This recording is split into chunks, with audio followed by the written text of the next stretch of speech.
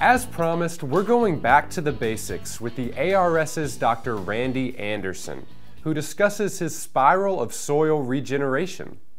And in the next three videos, Dr. Anderson provides the most tangible and straightforward unpacking of the concepts and benefits of soil health, which begin with no-till. So let's get out of the way.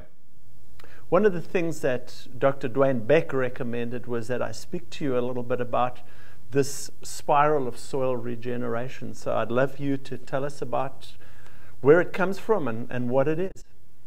Okay, well, where it comes from is my I was involved in research in the semi-arid regions out of the Great Plains, and when we started no-till, even for us scientists, it was difficult to recognize all the interactive, interactive biological factors, and so I was trying to think of how I could tie them together or relate them together.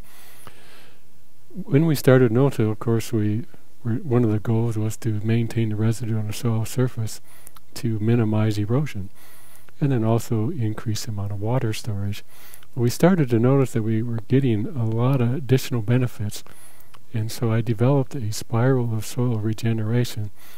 What I saw it is, is we kept, as we moved up with time, we kept gaining more benefits. Our spiral kept getting wider.